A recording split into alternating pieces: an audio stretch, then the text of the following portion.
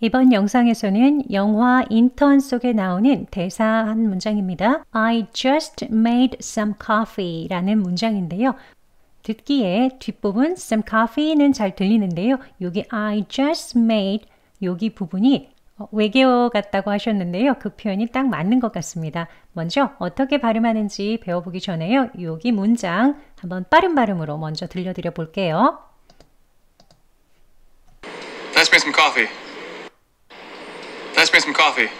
네, 두 번 들려드렸는데요. 어떻게 잘 들리시나요? 네, 정말 빨리 지나가죠? Let's make some coffee. 뭐 이런 식으로 빨리 휙 지나갈 거예요. 어떻게 그렇게 발음을 하는지 같이 배우고 마스터해 보도록 하겠습니다. 네, 여기 한 단계씩요. 제가 줄이면서 설명을 드릴게요. I just made some coffee 라는 문장이잖아요. 그대로 각각 단어를 발음하면 I just made some coffee 이렇게 발음합니다. 그런데 조금 이제 빨리 발음하게 되면요. 네, 한 단계 아래로 내려가 보겠습니다.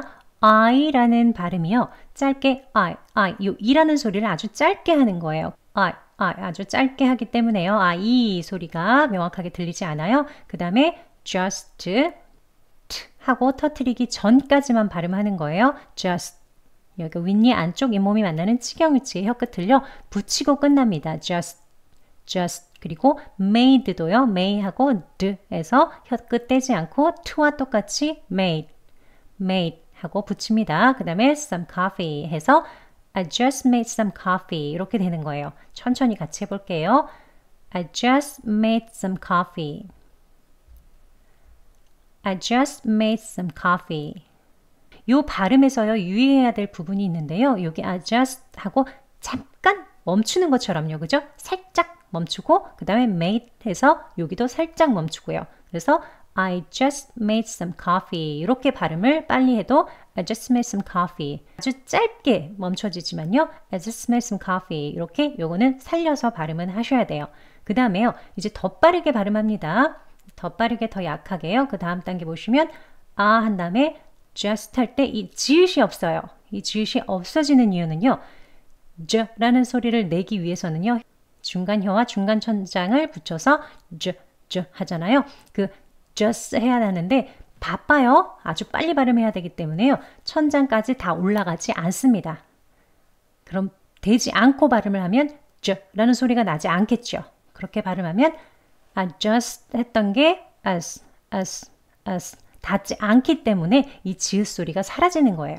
그리고 여기도 스타고 멈췄었잖아요. 여기도 그냥 빨리 발음을 하기 때문에요. as, as 여기도 으하고 치경에 닿지 않고 그냥 또 지나갑니다. 그리고 made 하고 붙이지 않고 지나가요.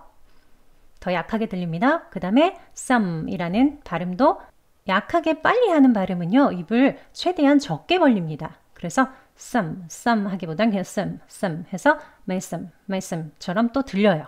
아주 약하게 입이 많이 안 벌어져서 그래요. some coffee 이렇게 돼서 some coffee, some coffee 이렇게 발음이 되는 거예요. 연습해야 하니까요. 좀 천천히 먼저 해볼게요.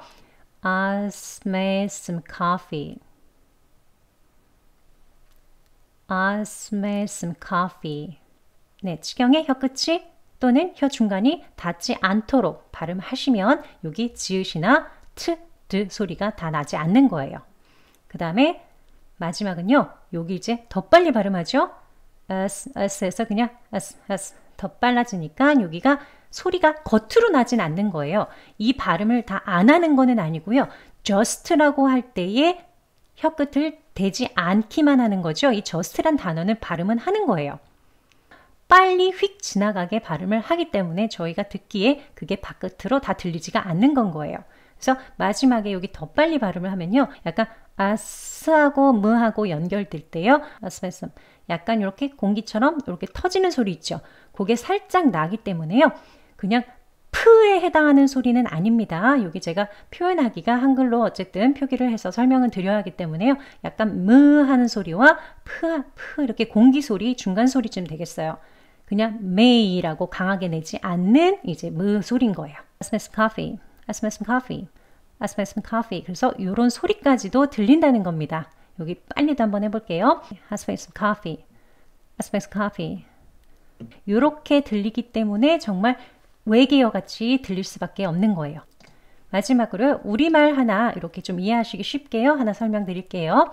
I just want to 라는 표현 있어요. 뒤에 이렇게 블라블라 오죠? 그러면 이 발음도요. 이렇게 as wanna, wanna 이렇게 발음하는 것처럼요. 조심하세요 라고 이렇게 명확하게 발음을 하기도 하지만요. 익숙한 표현이잖아요. 그죠? 그래서 그냥 조심하세요, 조심하세요. 지읒 소리를 강하게 내지 않습니다. 그죠? 이걸 just에서 이 지읒 소리 안 나는 거 이해하시기 쉽게요. 요 예시로 제가 설명을 드립니다. 이제 잘 이해가 더 되셨으면 좋겠어요. 마지막으로요. I just made some coffee. 또 원어민 발음, 느린 발음 두 번, 빠른 발음 두 번 들어보도록 하겠습니다. Let's bring some coffee. Let's bring some coffee. Let's bring some coffee. Let's bring some coffee. 네, 잘 들어보셨죠? 네, 연습도 해보시고요. 여기까지입니다. Practice makes perfect입니다. 댓글 감사드리고요. 올리브만큼 영어 할수 때까지 함께 파이팅 하세요. Thank you for watching. Have a great day.